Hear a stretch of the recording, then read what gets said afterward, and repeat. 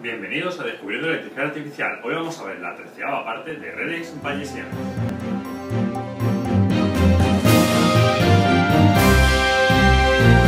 En la inferencia exacta con redes bayesianas, bueno, veíamos que había dos técnicas, la numeración y la eliminación de variables. Estuvimos viendo la numeración y dijimos que bueno, tenía una serie de problemas. Para mejorarlo, para, hacer, para que no tuviéramos esos problemas, sobre todo pues de, de complejidad exponencial, básicamente, de tiempo y de espacio, pues empezamos a definir una nueva técnica que era la eliminación de variables. La eliminación de variables, lo que primero tuvimos que definir son una serie de factores. ¿Qué eran los factores? Recordad de vídeos anteriores.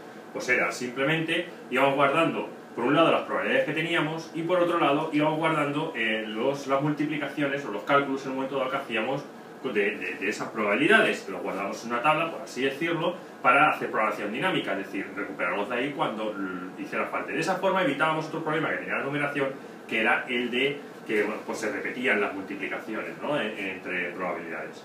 Bien, entonces, ahora que tenemos definido los factores y los tipos de factores, pues vamos a definir lo que son las multiplicaciones entre factores, que se llama multiplicación punto a punto. Cuando multiplicamos dos factores, obtenemos un nuevo factor cuyas variables son la unión de las variables. Aquí he puesto un ejemplo bastante bueno, exagerado, pero para que se vea, ¿de acuerdo? En el que tenemos un factor 1 y un factor 2, ¿vale? Y obtenemos un nuevo factor vemos que el factor 1 tiene una serie de variables, desde x1 hasta xy y desde y1 hasta yj, ¿de acuerdo? Y que el factor 2 tiene otra serie de, mm, bueno, pues de, variables definidas desde y1 hasta yj y de z1 a zk. ¿Qué ocurre? Hay variables que son únicas en cada uno de los factores. Las x son únicas y las z son únicas dentro del factor 2. Pero las y pues, pues son el mismo tipo de variable, entonces coinciden en uno y en otro. ¿Qué es lo que se va a hacer? Pues como digo aquí, hay que hacer la unión de las variables, es decir, hay que traer todas las variables de aquí y de aquí aquí, pero sin repetir, ¿de acuerdo? Entonces pasamos todas las x, pasamos todas las z y las y, pues pasamos solamente un, por así decirlo, no, no, lo repetimos, lo ponemos de y1 hasta yj y luego otra vez de y1 hasta yj, ¿vale? Porque es la unión, tienen que ser únicas, ¿de acuerdo? Luego, lo que tenemos que hacer es, ¿qué hacemos? Eso en cuanto a las variables. ¿Qué hacemos con los elementos? ¿Qué hacemos? Porque es que en definitiva los factores, recordad que son matrices de probabilidades. Es decir, van a dar un valor a cada una de estas variables y eso va a obtener una probabilidad. Y aquí vamos a tener un valor de cada una de estas y va a obtener una probabilidad. Bien, pues lo que tenemos que hacer es multiplicarlos. Es decir, vamos a coger cada uno de estos factores, ¿vale? Eh, vamos a multiplicarlos por cada uno de estos. ¿Dependiendo de qué? Pues aquí vamos a poner un valor para cada uno de estos, ¿vale? Para cada x ponemos un valor, para cada y ponemos un valor, para cada z ponemos un valor. Y entonces cogemos los elementos que coincidan con estos valores de aquí, que estarán aquí, cogemos su valor y los multiplicamos por los elementos que estén aquí, es decir, que están en el factor 2. Ahora vamos a ver un ejemplo y creo que va a quedar más claro, pero básicamente que sepáis que eh, cuando multiplicamos punto a punto factores, lo que tenemos que hacer es hacer la unión de variables y multiplicar las probabilidades de aquí con las probabilidades de aquí, ¿de acuerdo? Con un ejemplo seguro que se entiende mucho mejor, ¿de acuerdo? Así que vamos a definir dos factores, el factor 1 y el factor 2. El factor 1 está definido sobre las variables a y b y el factor 2 está sobre las variables b y c, ¿de acuerdo? Recordad que los factores podían ser que fuese asociado a una probabilidad conjunta o a una probabilidad condicional o lo que sea, ¿de acuerdo? Pero básicamente, no, entre comillas, nos da igual. ¿Por qué? Porque lo que nos interesa luego, bueno, pues son sus valores, su, matriz de, probabilidades y eh, vamos a operar con ellos y da igual si es de un tipo o de otro en principio, ¿de acuerdo? Entonces, como veis, hay variables que son únicas de cada factor. La A es única en F1 y la C es única en F2. Pero luego hay variables que son comunes en ambas dos. La B, por ejemplo, ¿vale? La, variable B está en 1 y en 2. Bien, si queremos multiplicarlas, lo primero que tenemos que hacer es, bueno, pues coger sus variables y eh, hacer la unión. En este caso, la, la unión de A y B y B y C es A, B y C, ¿de acuerdo? Por eso está aquí así, ¿de acuerdo? A, B y C. Bien. ¿Cuál es el siguiente paso? Hemos dicho, tenemos que multiplicar sus elementos. Bien. Bueno, ahora lo que tenemos que coger son las matrices. Aquí tenemos las dos matrices, ¿vale? Para cada uno de los valores de A y B tenemos los diferentes valores, verdadero y falso, y con B y C tres cuartos lo mismo, ¿no? Es decir, verdadero y falso. Bien, pues tenemos que crear una nueva, o sea, decir, de esta unión, ¿vale? A, B y C, pues de A y B y C definimos los diferentes valores que pueden tener, ¿vale? La combinación de elementos.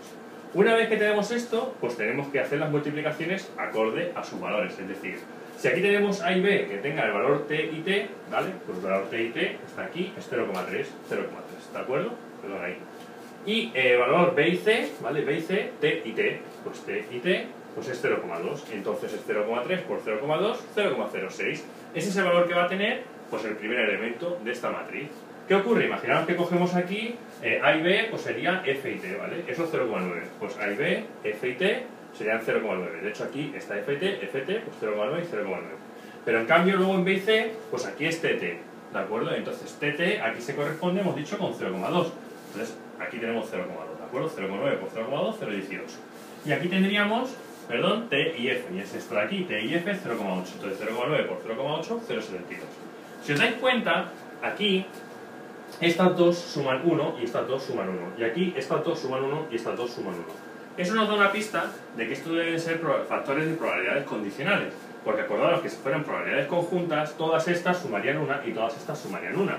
En cambio, cuando tenemos probabilidades condicionales, eh, pues lo, que, lo más probable es que esto sea una familia de, factores del tipo familia de condicionales, en las cuales, bueno, pues tenemos aquí eh, uno de ellos y otro de ellos, ¿de acuerdo?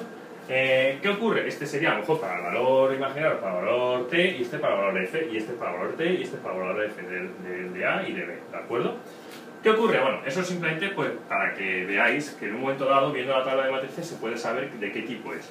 Aquí tiene que pasar exactamente lo mismo, es decir, si nosotros en un momento dado sumamos todas estas de aquí, tienen que sumar una, y si sumamos todas estas de aquí, tienen que sumar una, ¿de acuerdo?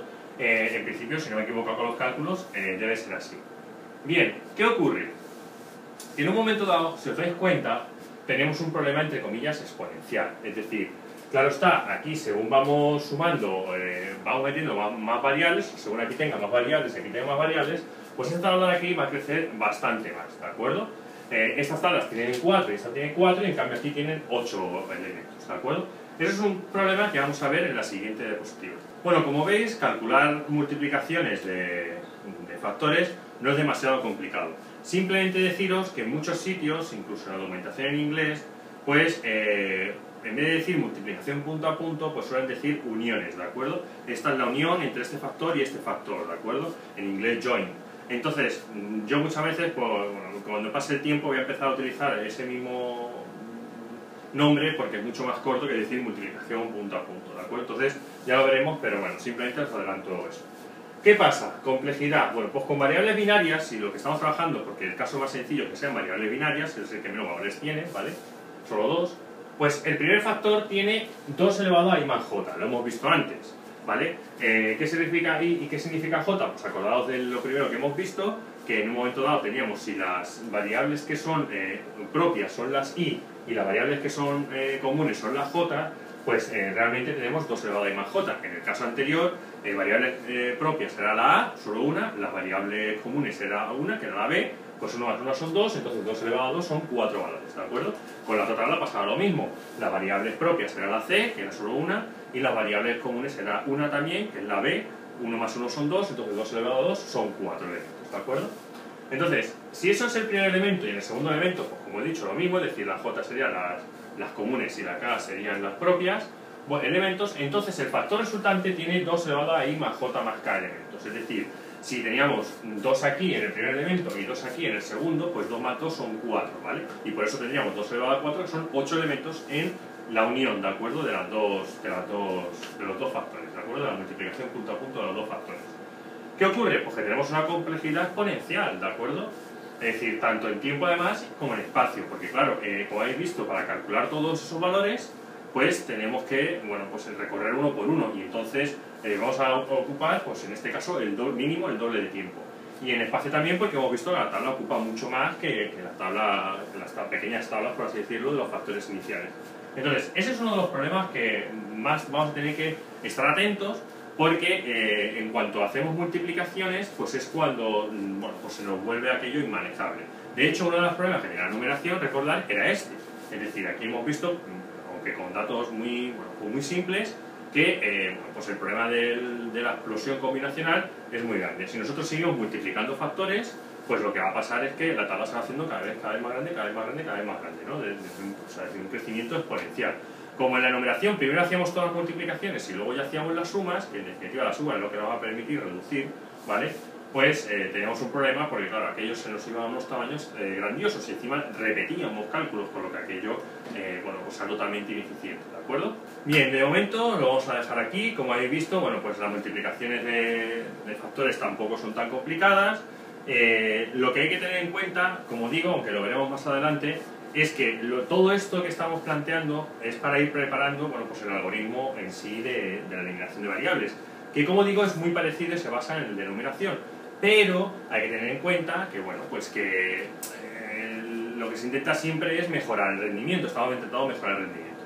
Para que se entienda todo mejor, pues voy poco a poco. Primero, he, bueno, pues he hablado de los, los factores, que en definitiva, recordad que los factores son probabilidades que vamos guardando en una tabla para reutilizarlas. Eso significa que las probabilidades iniciales, ¿vale? Ya veremos ejemplos, pero las probabilidades iniciales se guardan, ¿vale? Y luego, según vamos haciendo cálculo de factores, también se van guardando, ¿de acuerdo? Cuando lo necesitemos, pues vamos a poder reutilizarlos.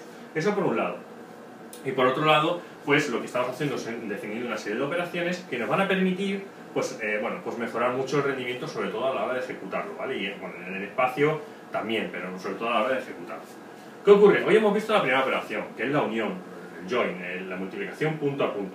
Si entendemos bien cómo funciona la multiplicación punto a punto, bueno, pues tenemos ya tenemos la mitad hecho, porque lo siguiente es la suma, que la suma también es realmente, bueno, yo pienso que es más sencilla de hacer. ¿Qué nos va a permitir hacer esto? Bueno, pues haciendo eh, primero una multiplicación y luego una suma, lo que nos va a permitir, ya veréis, es eliminar una variable. De ahí el nombre de eliminación de variables. Vamos eliminando variable por variable. De hecho, realmente eh, lo que vamos a hacer es, eh, nosotros tenemos unas preguntas que son un subconjunto de las variables ocultas, tenemos unas evidencias, entonces, si nosotros excluimos las, variables de las evidencias, porque ya tenemos valores sobre ellos, y excluimos las variables de pregunta, nos van a quedar unas variables ocultas. Por lo que tenemos que ir haciendo es eliminando cada una de esas variables ocultas. ¿vale? Y eh, al final, pues eh, obtendremos un factor o un conjunto de factores con los que podemos calcular esa probabilidad que estamos buscando, la probabilidad eh, pregunta, ¿de acuerdo? Así que bueno, eso lo vamos a ver en el siguiente vídeo, es en la suma, ¿vale? Para que quede claro. Ya sabéis, me gusta que participéis, que colaboréis, si, tenéis, si os ha gustado el vídeo ya sabéis, ya me gusta, que siempre ayuda, siempre anima. Recordad suscribiros al canal, pues estoy publicando tres vídeos a, la semana, lunes, miércoles y eh, viernes. ya estoy intentando cada vez reducir un poquito más los vídeos para que no ocupen demasiado espacio. Aparte, bueno, que ahora en el verano y demás tengo menos tiempo, por así decirlo, y bueno, no quiero dejar de publicar, así que por lo menos porque los vídeos son un poquito más cortitos, pero bueno, así de esa forma vamos a avanzar, ¿de acuerdo? Eh, bueno, pues si tenéis cualquier comentario, cualquier duda, cualquier pregunta, si me equivocan algo, cualquier crítica, me lo dejáis en los comentarios y yo os contesto en cuanto pueda, ¿de acuerdo? Y poco más, ya sabéis lo que siempre digo, hasta pronto.